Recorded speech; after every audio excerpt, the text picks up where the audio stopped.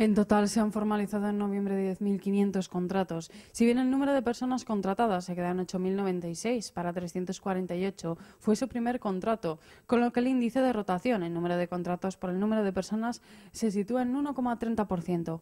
La contratación temporal representa el 91% de total frente a un 8,68% de modalidades indefinidas.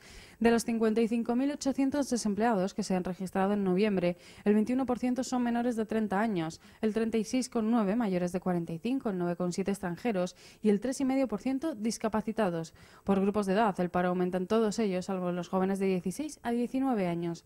Mientras que por nivel formativo sobresale el incremento mensual del paro en el colectivo con estudios primarios y grado medio de FP y en términos interanuales entre los universitarios de ciclo medio, los universitarios de segundo ciclo y los trabajadores con estudios primarios, ambos con un 30% de aumento de desempleo en los últimos 12 meses.